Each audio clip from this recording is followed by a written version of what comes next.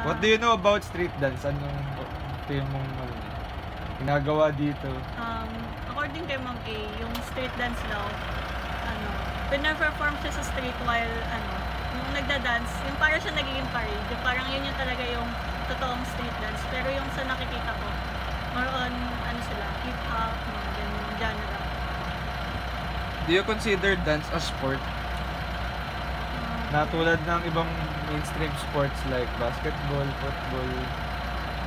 Yes, kasi parang nag-undergo din sila sa, siyempre, training and yung parang may mga routine sila, di ba, gymnastics, kailangan yung flexibility.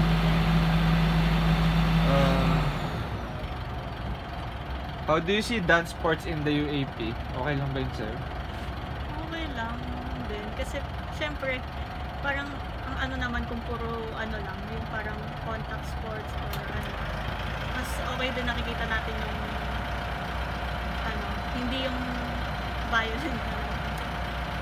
So do you think dance has a huge impact on kahit sa UAP lang? Oo. Kasi, dahil maraming parang dance enthusiasts, marami ding nahatak na tao para Do you think UAP has a huge impact on the dance community? As in, other way around naman.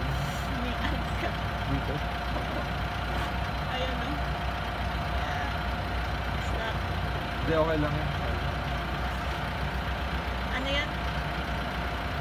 Kasi, di ba parang tinanong ko kanina kung do you think dance has a huge impact on the UAP? Ngayon naman, do you think UAP has a huge impact on dan on the dance community?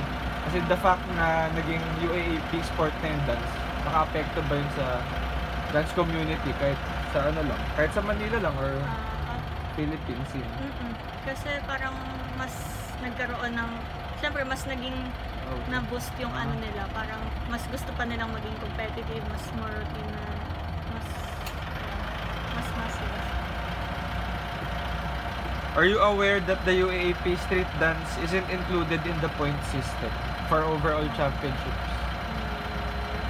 Um, sige po. Do you think dances should be included in the point system? Kasi yung dance sport, actually, meron din sa UAP pero hindi din siya included sa point system. I think, oh, dapat included siya. Kasi pinaghirapan din yun. Na, siyempre, nag-practice sila ng matagal. Na, na-miss nilang classes. Uh, are you aware that the dance varsities of UP are not given scholarships unlike other varsity teams? Kasi baka sila pero hindi sila Hmm, Hindi ako aware na gano'n yun. uh. Do you find that unfair? Siyempre, kasi gusto nilang pumasok dito so parang dapat tulad lang din ng ibang varsity na ano, athlete. Kailangan fair na pag-treat sa lahat. Parang ba equal? Mas, ano? ah, equal treatment.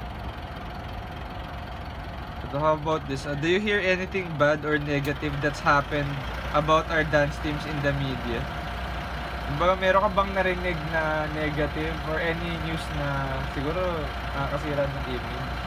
About sa dance teams? naman akong na, ano, nakakasira ng image. Pero yun, di ba, yung hindi sumali ng cheer, yung sa cheer dance, hindi sila sumali ng Yun yung naging big issue.